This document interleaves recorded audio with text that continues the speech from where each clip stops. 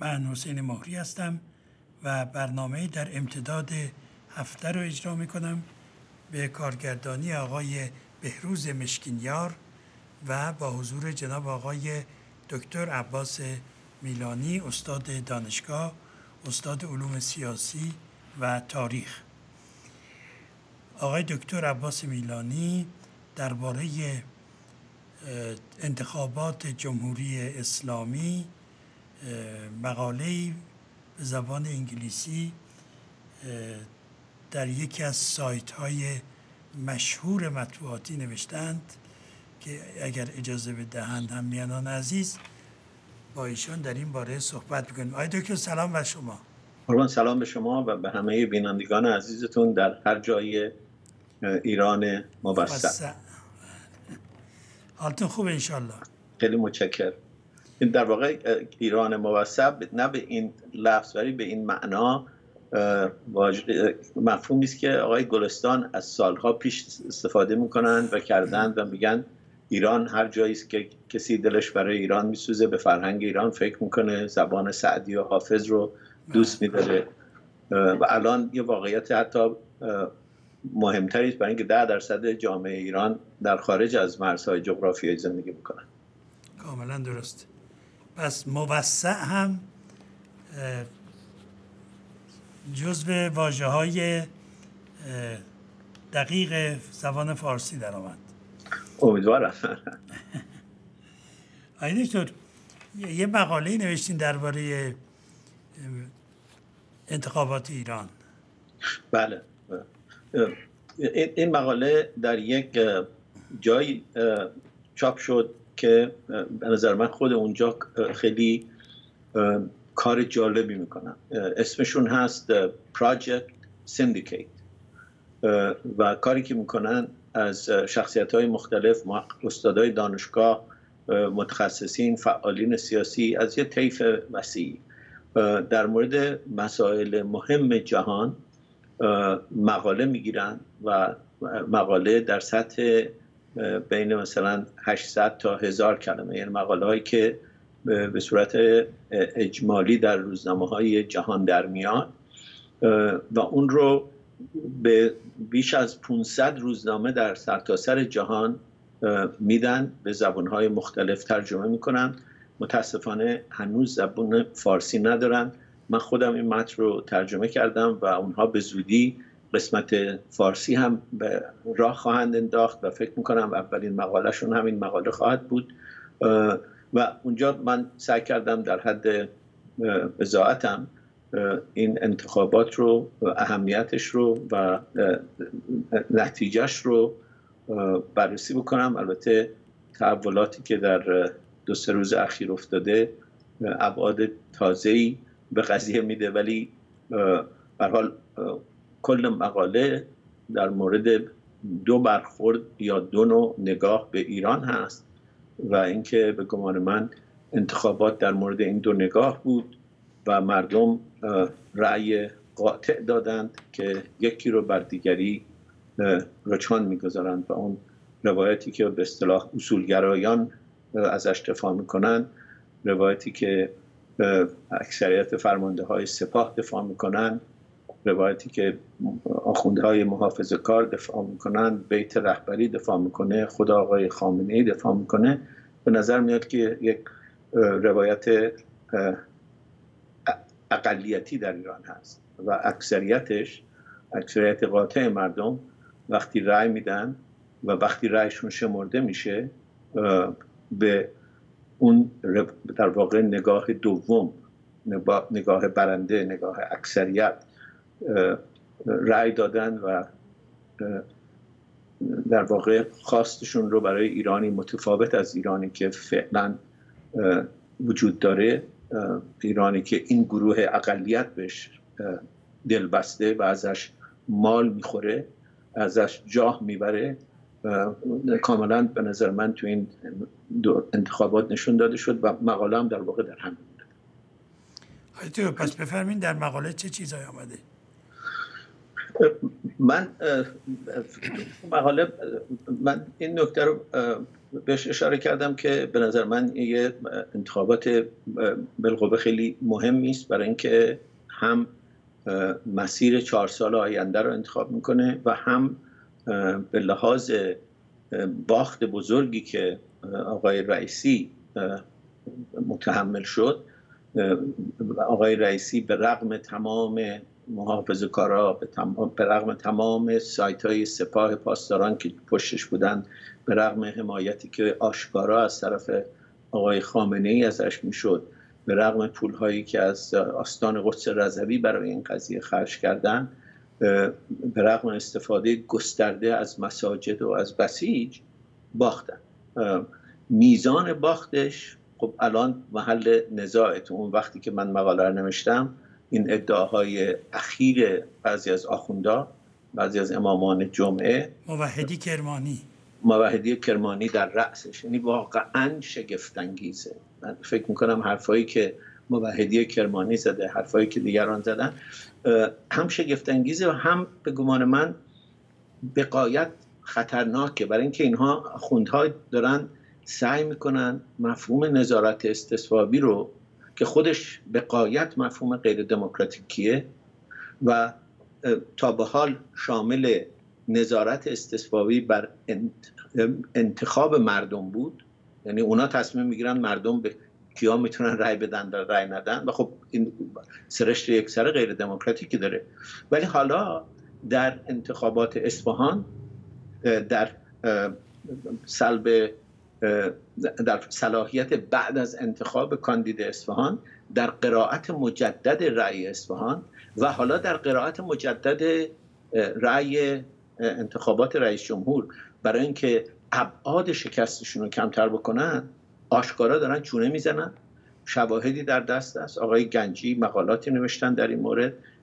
گفتن که اطلاعی دارن در مورد اینکه شب انتخابات نماینده از طرف دفتر رهبری نماینده از طرف روحانی نماینده از طرف رئیسی رفتن در ستاد و چونه زدن سر اینکه چقدر ابعاد باخت باشه. و رقم رأی رئیسی رو در اون شب بالاتر از اون چی که بوده بردن. به روایت آقای روحانی چهار میلیون هم نذاشتن رأی بدن. با این حال بعد از اینکه اینها شکست و مرتکب شدن اومدن حالا میگن یه سری رأی رأی حرامه یه سری رأی حلاله. اصلا این حرفای واقعا به قول خود آخونده شازی که می‌زنن فکر هیچ کی نمی‌تونه بره. این نمی‌دونم این چی مگه کسی نیست که به اینا بگه این حرفا باعث خنده است؟ مگه کسی نیست تو اطلاعات اینا دور برشون تو بیت رهبری بگه این حرفا رو مردم بدیشتون میخندن؟ که شما بیاید بعد از اینکه وزارت کشور رأی اعلام کرده بیاید چیز کنید اعتراض کنید برید دوباره رأی رو چیز کنید. برای اینکه آقای رئیسی بیش از اون چی که شکست خورده شکست نخوره. تو مقاله من نوشتم خب این الگوی رئیسی که همون الگوی احمدی نژاده همون الگوی مورد نظر آقای خامنه ای هست. که میگه ایران بایستی به جهان نگاه بسته تری داشته باشه. در اون باید به اصطلاح مدیران ارزشی نه مدیران کارکشته نه مدیران تکنوکرات سر کار باشن. باید بخش دولتی ارجح باشه. باید سپاه قدرت رو داشته باشه. باید بنیادهای خیلیه قدرت بنیادهای مثل بنیاد مستضعفین بخش مهمی از قدرت رو داشته باشن. زن و مرد نباید برابر باشن. شبکه های اجتماعی بایستی در کنترل و اختیار دولت باشن. رادیو تلویزیون باید در کنترل و اختیار دولت باشه. این یه الگوه. یه الگوی دیگه هم هست که مردم می‌خوان. میگن جامعه باید باستر باشه باید تصاوی بین زن و مرد باشه باید تصاوی ادیان باشه باید اقلیت های قومی زبانی حق مساوی داشته باشن. باید اقتصاد آزاد باشه باید فساد دولتی باش مبارزه بشه. مدیریت باید در دست کاردان باشه نه ارزشی. وقتی که آقای رئیسی میگه ما جوانان انقلابی رو می‌خوایم بیایم مدیر کنیم یعنی همون تیپ مدیرایی که آقای احمدی نژاد آورد یه مش آدم رو آورد اقتصاد مملکت رو واقعا به آستانه فروپاشی کشوندن. وقتی که مردم میگن باید شفافیت باشه یعنی باید بدونن همین ماشینی که الان آقای رئیسی توشه خب این از کجا آمده؟ آیا این بنیادی که ایشون ریاستش رو تولیتش رو به دارن مالیات میده که نمیده؟ شرکت های وابسته بهش مالیات میدن. اصلا معلوم نیست. شفافیتی در مورد اموالش وجود نداره. این الگو الگوی دوم که در این انتخابات نمایندش آقای روحانی بود و آقای جهانگیری بود و آقای خاتمی بود. با قاطعیت برد. حالا اینا دارن زیرش می‌زنن. جرأت نمی‌کنن بگن نبرده. برای اینکه نمی‌خوان یه شور غیر منتظری در جامعه ایجاد بشه. ولی در این حال هم این رو بر نمیتابن که به این شکل وحشتناک شکست خوردن. هی دارن چونه می‌زنن. مثل اینکه شمارش آرا هم خرید و فروش مثلا قالیه یا خرید و فروش جنس آرای بایستی ازش سیانت میشه. وظیفه قانونی آقای خامنه ای هست. آقای خامنه ای بارها گفته که من در انتخابات شرکت نمی کنم ولی سیانت از رأی می‌کنم. چطور شما الان اجازه می‌دید نماینده هاتون این در مورد رأی مردم به این شکل صحبت کنن؟ چطور نمیاد بگید که آقا بس انتخابات تموم شد نتیجهش هم اعلام شد؟ حالا این فضا بیشتر صدمه می‌زنه. در سیاست خارجی هم اون الگوی اول می‌خواد بره به طرف روسیه می‌خواد بیشتر نزدیک به چین بشه می‌خواد ادامه بده سیاست هاشو در سوریه در لبنان. یمن. معتقد با شرط و شروطی. به حال اینا با احتیاط رفتار می‌کنن. در چارچوب ایران رفتار می‌کنن دیگه. اینا دلشون می‌خواد یه سیاست معقول تری داشته باشن و مردم به رغم اینکه به گمان من کاملا آش... آشنا هستند به محدودیت هایی که آقای روحانی داشته به برخی خلف وعده هایی که آقای روحانی داشته فکر کردن که او بهتر از هر کسی می‌تونه این پیام رو به نظام برسونه. که وضع محتاج تغییر هست. و میگم واقعا فضای شگفتانگیزیه کسی که بیش از هر کسی شاید در این انتخابات نفوذ داشت آقای خاتمی بود. یعنی نظرش نظر مساعدش چه به لیست تهران چه به خاتمی یه نقش به روحانی مثلا می‌خوام نقش بسیار مهمی داشت. اون در ایران ممنوع تصویره. پرنفوذترین روحانی ایران در ایران ممنوع تصویره. ممنوع ذکره. یه روزنامه‌نگاری رو در بوشهر الان ظاهرا شاید هنوز در زندانه. حبس کردن برای اینکه جرأت کرده در روزنامهش یک تصویر رئیس جمهوری رو بذاره که بالاترین تعداد رأی تاریخ جمهوری اسلامی رو از آن خودش کرده. آخه مگه میشه ادامه این بحث؟ مگه فکر می‌کنید با چه جامعه ای طرفی این جامعه است که 80 90 درصدش سواد داره. 80 درصدش به اینترنت وصله. خب شما عکس خاتمی رو تو روزینامه کیهان نذارید. شما در رادیو تلویزیون نذارید. مگه مردم نمی‌تونن عکسش رو تو چیز ببینن؟ وقتی که پیام تلف... من یه جایی خوندم که وقتی ایشون پیام دفاع از روحانی رو گذاشتن پنج میلیون نفر اون رو در ظرف چند روز اول مشاهده کردن. خب اینا رسانه های خودشون مردم دارن. چرا نمیپذیرید که به قول آقای مصباحی ازدی بند و آب دادید؟ این نبرد فرهنگی رو به این شکل نمی‌تونید ببرید. با زور و با درفش و با داغ و با آوردن این این نوع بحث های بسیار بسیار شاز. فقط به نظر من نگاه اصولگرا به اصطلاح که اصولی هم واقعا به نظر نمیاد پابندش باشن به غیر از قدرت محدودتر و محدودتر خواهد شد. خیلی سپاسگزارم آقای دکتر بسیار جالب بود. آقای دکتر یک پرسشی رسیده است. گوین که شما در دورانی که در رادیو مصاحبه میفرمودین به این پرسش من یادم جواب دادید. ولی خب یکی از همیانان ما از بینندگان تلویزیون این پرسش کردن. فعلا خواستن بدونن که یادداشت های آقای علم تا چه اندازه با واقعیت همساز و سازگاره و آیا ریشه های انقلاب در این یادداشت ها پیداست یا نه؟ یعنی گفته شده یا نه؟ اولا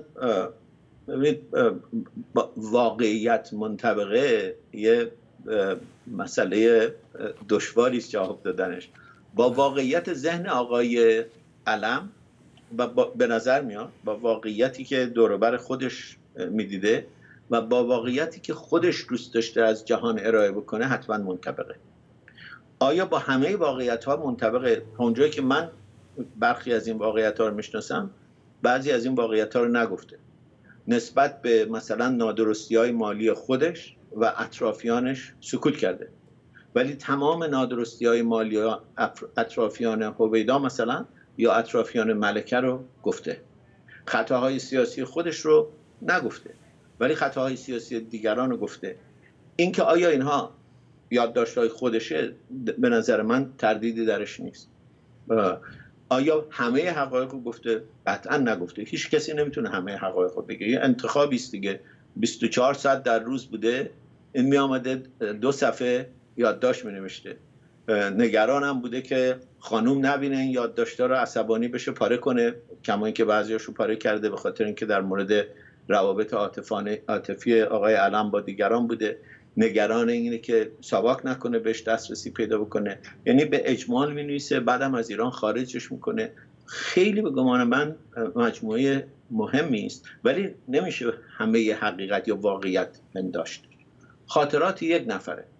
خاطرات به تعریف خطا پذیره خاطرات به تعریف روایت ما رو از جهان میگه. اونجوری رو جهان رو اونجوری نشون میده که ما دوست داریم یا ما می‌بینیم. به حال علم هم مثل همست دیگه. جهان رو از منظر خودش می‌بینه. در مسئله مثلا جشنهای 2500 ساله اشتباهات همه رو میگه.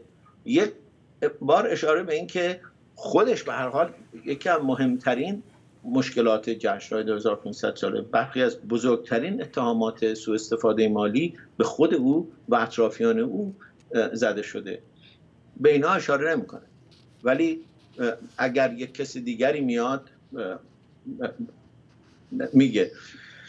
من فکر می‌کنم یکی از مهمترینه در جاهایی نقل قولهایی ازش هست که به نظر من تکون دهنده است. دقیقا در جهت اینکه این انقلاب اتفاق خواهد افتاد. آیا اینها رو دقیقا همون زمانی که بقیه یادداشت‌ها نوشته نوشته بوده یا بعدا اضافه کرده بهش وقتی که در پاریس بوده و عصبانی بود از شاه به خاطر اینکه هم فکر می‌کرد بدجور برکنارش کردن و از اون بدتر فکر می‌کرد که دشمنش رو که هویداست جای او آوردن در پاریس خیلی به نظر میاد. من از چند منبع شنیدم که براشفته بود.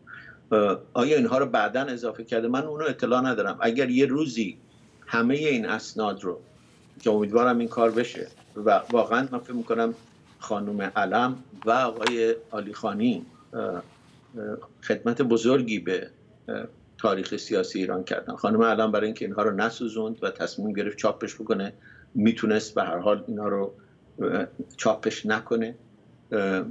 به هر حال تصویر خیلی زیبایی از رابطه علم با خانوم در اینجا نیست. آدمی است که دائم پی مهمون بازی و از این کارهایی که در اون کتاب بهش اشاره شده شاید بعضی آدم های دیگری فکر می‌کردن که خب این چنین چیزی چاپ نشه. ولی خانم علم به گمان من با یک نظر تاریخی بسیار ستودنی و بعد آقای آلی خانی به خصوص بعد از جلد اول. جلد اول یه مقداری رو حذف و حذف کردن سه نقطه گذاشتن برای اینکه افراد زنده بودن اینا ولی چاپ های بعدیش جلد های بعدیش به نظر من این مجموعه رو به عنوان یکی از مهمترین مجموعه های مربوط به اون دوران تبدیل می‌کنه. ولی هیچ وجه به اون معنا نیست که این فقط تنها روایته. باید اگر می‌خوایم مثلا از وضع دربار خبردار بشیم باید روایت اون رو بخونیم باید خاطرات شاه رو بخونیم باید اسناد دفتر مخصوص رو ببینیم باید خاطرات زاهدی رو بخونیم باید خاطرات ملکه رو بخونیم. خاطرات شاه دخت اشرف رو بخونیم اسنادی که در ساواک هست بخونیم. از کنار هم گذاشتن اینها اون وقت میشه اون واقعیت رو که اون هم تازه واقعیت قابل تغییر است دیگه. ببین الان خب چندین هزار صفحه جد... سند جدید در مورد دوران انقلاب در اومده. واقعیت دربار رو ما الان با یه دقت خیلی بیشتری می‌تونیم ببینیم تا قبل. هر روز اسناد تازه تری در مورد خود علم در میاد. میشه مثلا در خلوت با انگلیس ها چی می‌گفته؟ با آمریکایی چی می‌گفته؟ هر روز اون نگاه ما به اون واقعیت تغییر پیدا می‌کنه دیگه. یعنی واقعیت بسته به اون جایی است که ما ایستادیم. مثل داستان معروف رومی دیگه. در اون فیل در اتاق هر کسی از یه جایی وارد میشه. به حال واقعیت فیل در اون اتاقه. ولی اینکه شما از کجا وارد اتاق شدید و کجای فیل رو دیدید یا لمس کردید یه تصور متفاوتی داره. علم هم یه گوشه ای از این اتاق بوده. گوشه خیلی مهمی بوده. روایت خودش از اون فیلی که تاریخ واقعیت انقلاب ایران و دوران پهلویس گفته. سپاسگزارم آقای دکتر میلانی عزیز. آقای پژمان اکبرزاده روزنامه نگار یک مطلبی نوشتن درباره تاق کسرا. زیر عنوان از ثبت تاق کسرا در یونسکو خبری نیست.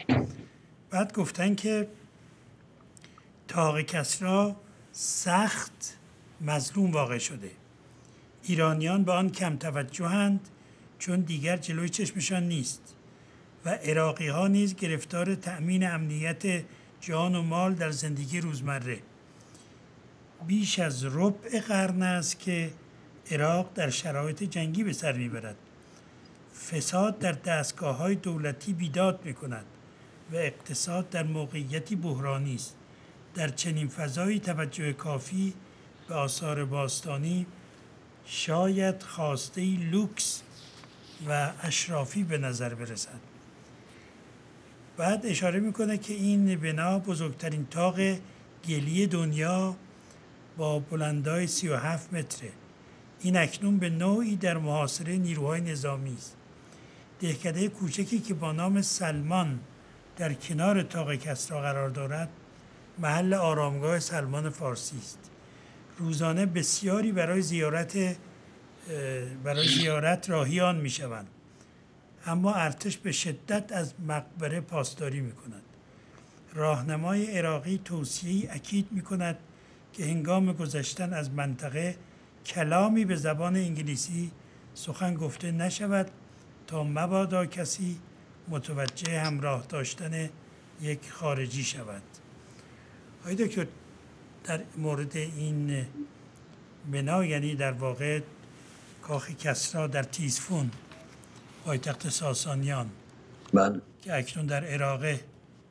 نظرتون چیه؟ آیا می توانند ایرانیا به یونسکو مراجعه کنند؟ چگونه است؟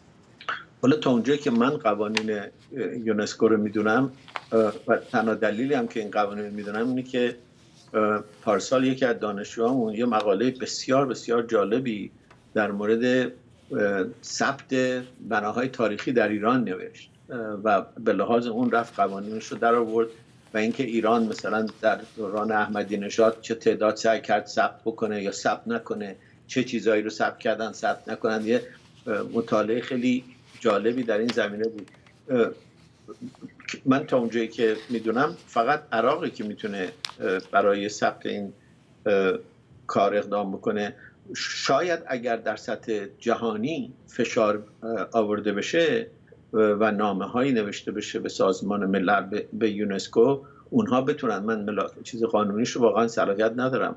ولی فکر می‌کنم اگر یک حرکتی بشه شاید مسمر سمر بشه. ولی باید همین به عنوان یک بنای تاریخی که بخشی از میراث بشری است واقعا فقط برای ایران نیست. به یک روایتی من میخوندم که بسیاری از سنگ های اونجا رو بسیاری از اصطلاح طرح این شهر رو در ساختن بغداد استفاده کردن. انقدر اونها مبهوت این ماجرا بودن مبهوت این ساختمان بودن. به حال یه ساختمان عظیم میراث بشری در مفهوم واقعی است.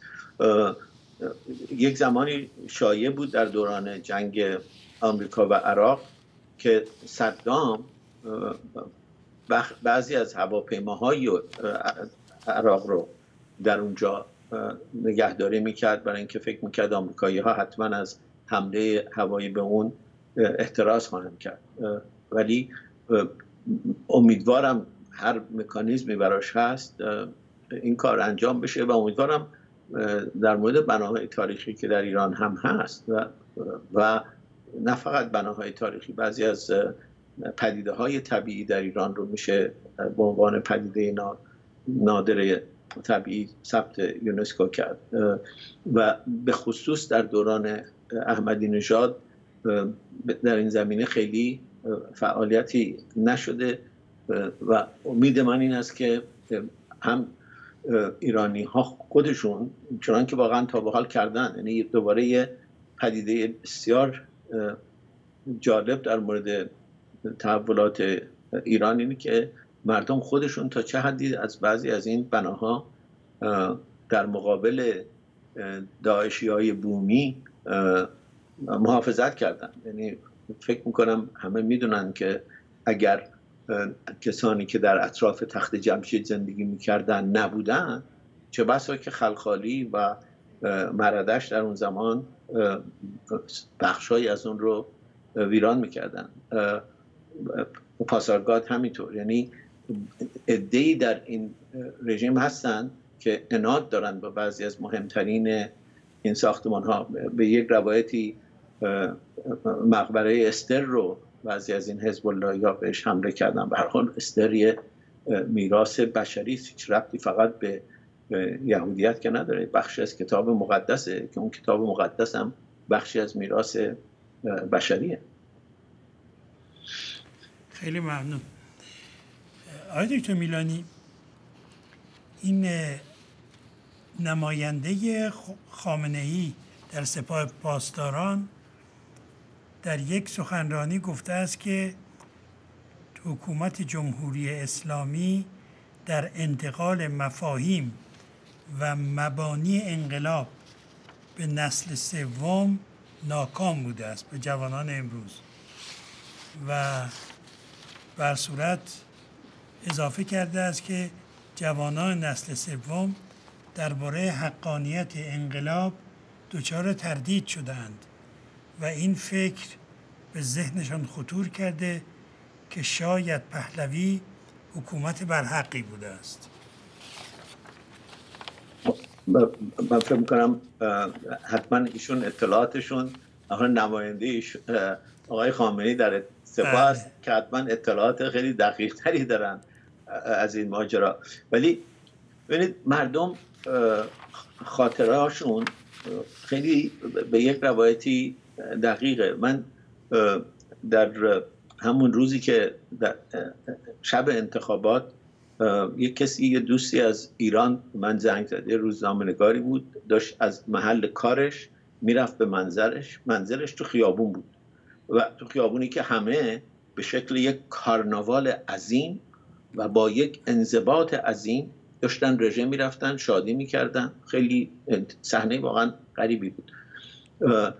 او می‌گفت که من با دوستم صحبت می‌کردیم که اکثریت اینا جوانای مثلا 20 ساله هستن 25 ساله هستن. اینا وقتی که خاتمی برای اولین بار اومده بچه بودن سر کار. چطور اینقدر به خاتمی علاقه دارن. چطور یادشونه؟ مردم وقتی پیامی درست باشه در جهت منافعشون باشه یادشون میمونه. وقتی که می‌بینند از جنبه های دوران پهلوی واضحه که ارجحیت داشت. واضحه که شما اگر یه زن بودید در اون زمان امکانات فعالیت قانونیتون بیشتر بود. معلومه که در اون زمان پاسپورت ایرانی در جهان اعتبار بیشتری داشت. معلومه که در اون زمان وضع اقتصادی طبقه متوسط ایران بهتر از الان بود. یعنی توان تولید نفتی ایران 6 میلیون بود. پیام شما دلیلی که فراموش شده به خاطر نیست که تکرارش نکردید. به خاطر نیست که انحصار رادیو تلویزیون نداشتید. پیامتون با روح زمان نمی‌خونه. شما دارید به یه جمعیتی که یه جامعه ای که میگم 80 درصدش به اینترنت مرتبطه. اینترنت اصلا ساختش شبکه‌ایه. ساختش محوری نیست. ساختش سلسله مراتبی نیست. شما یه جامعه که اینجوری وصله اطلاعاتش رو اینجوری می‌گیره. می‌خواید حالا بهش بگید که یه نفر در این مملکت عقلش از همه بیشتر می‌رسه همه باید به اون اقتدا بکنن. خب نمیپذیره این جامعه. واضحه که نمیپذیره. شما 24 ساعت هم در رادیو تلویزیون صحبت بکنید این قضیه پذیرفته نمیشه. جامعه است که با سواده. جامعه است که خودش رو محتاج ولی و قیم نمی‌دونه. جامعه است که می‌خواد برای آینده خودش تصمیم بگیره. زنان ایران نمیپذیرن که تنها شغلی که براشون تعیین شده مادرن مادر بودنه. اونا در همه عرصه دارن میتازن پیش میرن. خب اون پیام رو باید درست بکنی اون وقت پیامتون گوش شنوا پیدا می‌کنه. اگر گوش شنوا پیدا نکرده به این خاطر نیست که هی تکرارش نکردی. رادیو تلویزیون که 24 ساعت دستتونه تمام امامان جمعه دستتونه مدارس دستتونه کتاب های درسی دستتونه. دو بار در دانشگاه ها سعی کردید انقلاب بکنید. چرا متوجه نیستید که اگر نمیشه به جای اینکه فکر کنید کار رو درست نکردید اون حرفی که دارید می‌زنید بایستی در موردش بازندیشی بشه. مردم دموکراسی می‌خوان. مردم خودشون رو واجد حق انتخاب می‌دونن و شما می‌خواهید براشون انتخاب بکنید. حالا اومدید الان دارید یک گام دیگه هم در واقع جلو برمیدارید حق مردم رو بگیرید. به خودتون حق می‌دید که رأی مردم هم بازخانی بکنید و فله رأی رد بکنید. خب نمیپذیرند مردم اینو. خیلی واضح آقای دکتر میرانی صحبت یونسکو شد. چندی پیش آیت الله خامنه ای طرح جدید یونسکو رو در مورد فرهنگ و غیره سخت مورد حمله قرار داد. و گویا مخالفان یعنی اصولگرایان گفتند که این طرح رو آقای رئیس جمهوری قبول کرده امضا کرده و قبول کرده که در ایران اجرا بشه در این بله. مورد آگاهیاتون والا به نظر من از اون واقعا ماجراهای خیلی خیلی عجیب بود که یا کاملا اطلاعات غلط به آقای خامنه ای دادن یا ایشون استنباطشون از واقعیت ها کاملا نامنطبق با حقیقت. یونسکو که سازمانی نیست که تحمیل بکنه نحوه تدریس در مدارسه اینا یه دستگاه مشاورتی در واقع. ایران هم اگر امضا کرده جزئیات امضاش حتی الان مورد اختلاف نظر هست. وزرای دولت خود آقای روحانی در مورد جزئیات تحولات شک کردن. ولی حتی اگر امضا هم می‌کردن به هیچ وجه به من این نیست که از فردا ایران بایستی تمام سیستم آموزشیش رو عوض بکنه. من تا اونجایی که طرح خوندم وقت کنجکاو شدم رفتم طرح خوندم. دیدم هیچ کدوم از این چیزهایی که اینا بهش میگن دست راستی ها میگن. حالا شروع کردن دیروز که اینا می‌خوان در مدارس دختر و پسر رو با هم بندازن اینا می‌خوان درس روابط جنسی بدن. خب اینا نیستی که مردم می‌تونن برن رو بخونن و تو اون قضیه صحبت از برابری آموزش پرورش میشه صحبت از خرد میشه صحبت از گسترش ارتباطات میشه. ولی این حرفایی که در موردش می‌زنن به نظر من فقط جنبه تبلیغاتی داره فقط جنبه می‌دونید یه جوری برگردوندن بحث به یه جایی که اینا فکر می‌کنن در موردش می‌تونن حرفی برای گفتن داشته باشن. این دوباره در تمام این دوران انتخابات به غیر از دو هفته آخر بعد از اینکه سپاه و بیت رهبری و کیهان و همه اینها رفتن تخت گاز علیه روحانی روحانی هم تخت گاز شروع کرد حرفای متفاوت از گذشته زدن و حرفایی زدن که دقیقا او رو با جنبش اصلاحگری ذکر نام آقای خاتمی صحبت در مورد رفع حذف غیر قانونی همه اینها به غیر از این دو سه هفته تمام بحث انتخابات بحث اقتصاد بود. معیشت مردم بود. یک بار صحبت از بحث ناتوی فرهنگی که آقای خامنه ای تمام 20 سال مثلا گفتن مهمترین خطر برای ایران اونه نبود.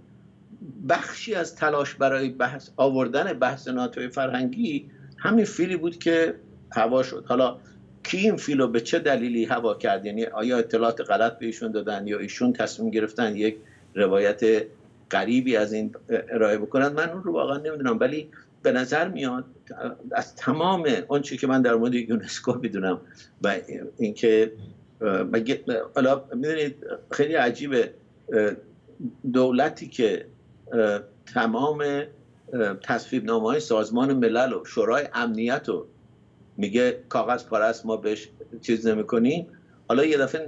انقدر ناراحتن که یه طرح توصیه یونسکو اونم یه سازمان فرهنگیه و یه دوباره برخلاف اونچه که به نظر من آقای روحانی خامنه گفتن که یونسکو ابزار دست قدرت های بزرگه یکی از علل مخالفت محافظ کارهای آمریکا و یونسکو یکی از عللی که آمریکا سالها اصلا از کمک مالی به یونسکو احتراز کرد این که می‌گفت یونسکو دست جهان سومه و ازش علیه آمریکا استفاده می‌کنن. یونسکو به هیچ وجه من واقعا کمتر دیدم کسی که در مورد یونسکو صحبت بکنه و فکر کنه که آمریکا مثلا اونجا قدرت فعال مایشا است و هر که دلش می‌خواد می‌تونه تحمیل بکنه.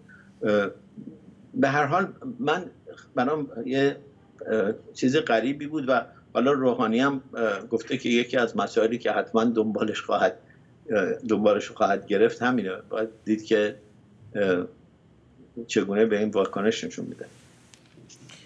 آیا میلانی این وضع روزنامه نگاران در ایران بسیار وحشتناک شده. تعداد زیادی الان روزنامه نگار در زندان ها هستند. در این میان 700 روزنامه نگار نامه نوشتن به آقای رئیس جمهوری و خواستار بازگشایی انجمن روزنامه نگاران شدند که در زمانی که در زمان رژیم گذشته سندیکای نویسندگان نامش بود. اکنون اینها گفتن انجمن روزنامه نگاران. برای فرقی نمی‌کنه. این 700 روزنامه نگار در نامه به حسن روحانی خواستار بازگشایی انجمن روزنامه نگاران شدند و از او خواستند که با تأکید بر قانون و استوار کردن نظم در دستگاه های اجرایی زمینه تحقق وعده های انتخاباتیش رو فراهم کند که از جمله همین از نو یا به تجدید سندیکای نویسندگانه. فدراسیون بین المللی روزنامه‌نگاران از خواست روزنامه‌نگاران ایرانی حمایت کرد و خواستار برآورد این خواسته شد بله.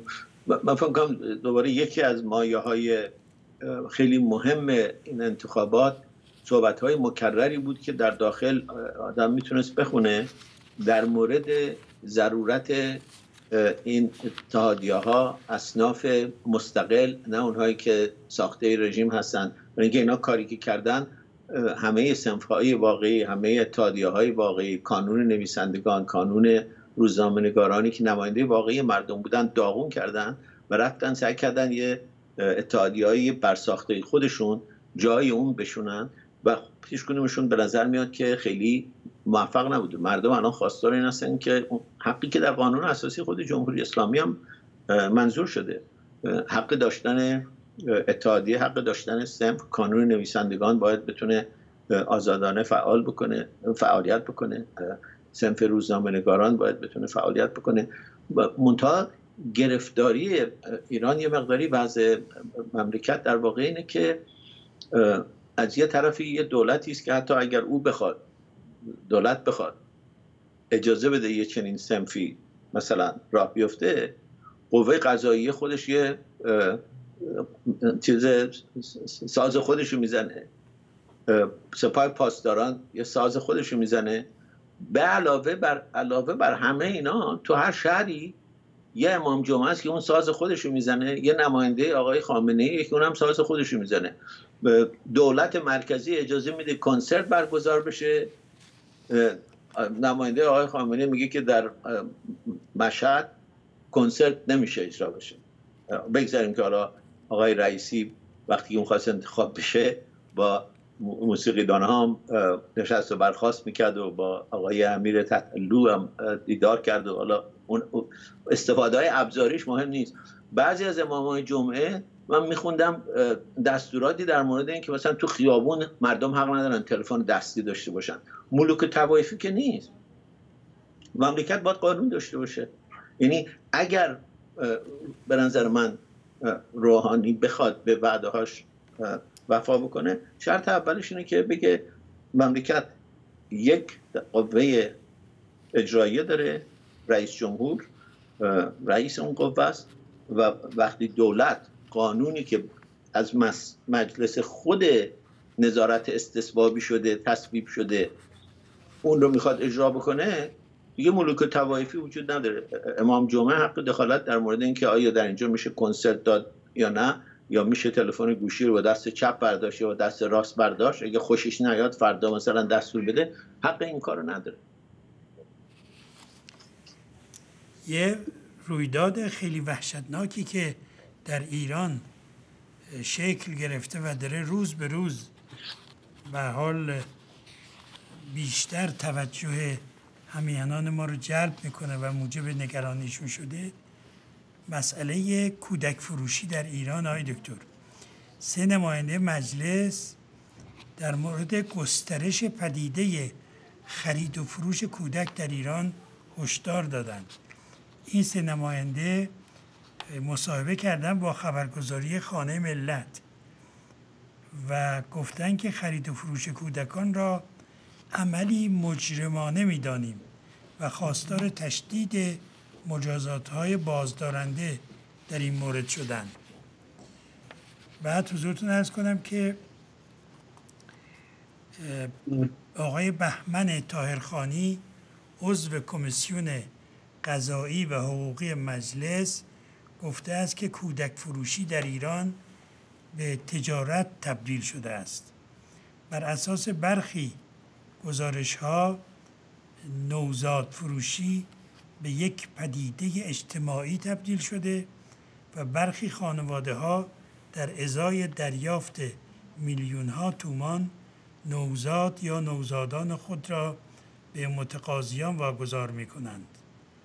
نوزادان فروخته شده در شکم مادر هم زیاد هستند و فقر یکی از مهمترین عوامل گسترش این پدیده اجتماعی در ایران محسوب می شود به گزارش سه نماینده مجلس. من من از ابعاد ماجرا در ایران اطلاعی ندارم ولی می‌دونم که در هم کشورهای بسیار فقیر و هم در کشورهای غنی این شکلی اشکالی از این صورت می‌گیره.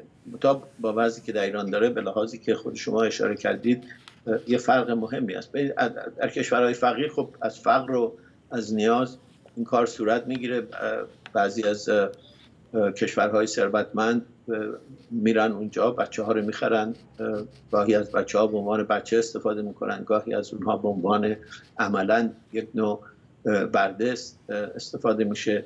خیلی ابعاد ماجرا واقعا غم انگیزه ولی تو آمریکا هم مثلا بعضی هستن که حامله شدن و نمی‌خوان بچه دار بشن و نمی‌خوان جنین بکنن. اون بچه رو در ازای یک در واقع معامله پدر مادری که یا مادری که یا پدری که بچه دار نمی‌تونن بشن در واقع مبادله می‌کنن. این یکی خب طبق قوانین صورت میگه نظارت قانون هست مسئلهش فقط مسئلهش اساسا فرق نیست.